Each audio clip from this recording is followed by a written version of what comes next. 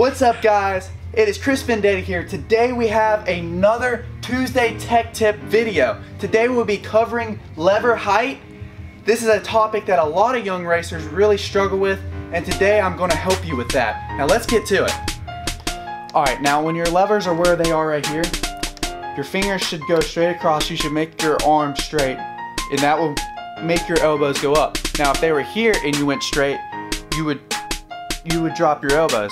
But if you had them there and you had your elbows up, that would mean you'd have to bend your wrist a little more than you really should.